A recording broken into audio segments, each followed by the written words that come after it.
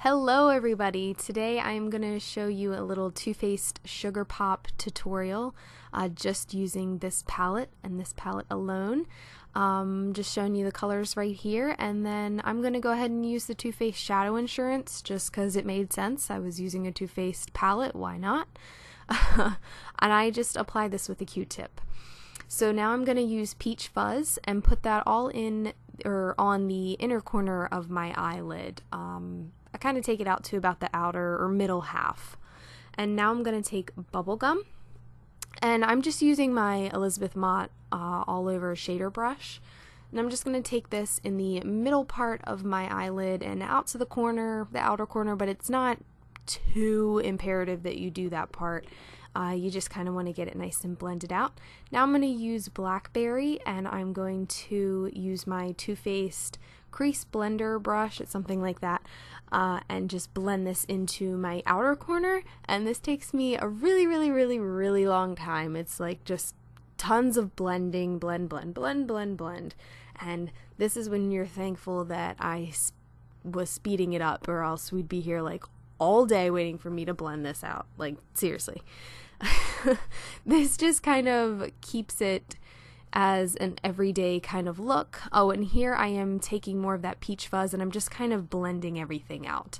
So now I am taking Sugared Violet and I'm taking my uh, smudger brush by Too Faced and I'm just going to smudge this into my upper and lower lash line.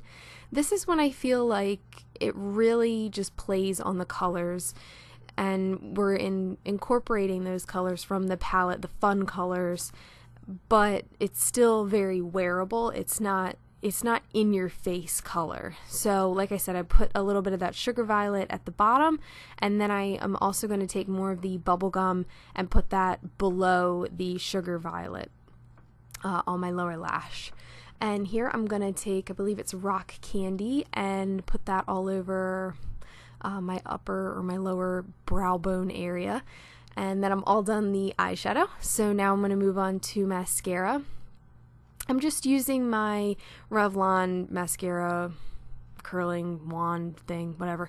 And then I'm going to use my Too Faced Better Than Sex mascara. I like to do two coats top and bottom, and for some weird reason, this takes me forever to do also. So, again, be glad I'm fast forwarding it because we would be here all day.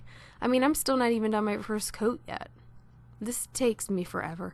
I swear, if this didn't take so long, I could get ready like, I don't know, 10 minutes faster in the morning. but they just never go where I want them to go, so I spend so much time making sure that they are in the right place, which is difficult. But I do eventually get there. so now I'm going to use my Rimmel mascara. I really like this brush, or the wand, I should say, it has these tiny little teeth and it just really makes it easy to get in there. So now I'm going to use a q-tip and just clean up anything that I might have messed up. Uh, it's normally just mascara where I've touched the wand to my face or to my lid. So yeah, just cleaning that up because I always seem to get stuff on my eyelids or my eyes. Um, and it's just easier to clean it up once it's dry. So this is the completed look.